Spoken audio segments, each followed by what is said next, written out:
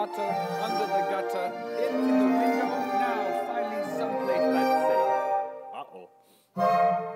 Les poissons, les poissons, how I love les poissons, love to chop and to serve little fish.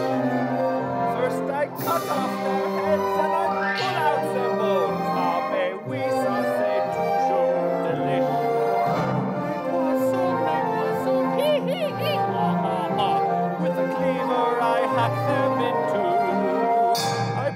out what's inside and I serve it up fried. How I love little fishies, don't you? Here's something for scenting the palate, prepared in the classic technique. First you pound the fish flat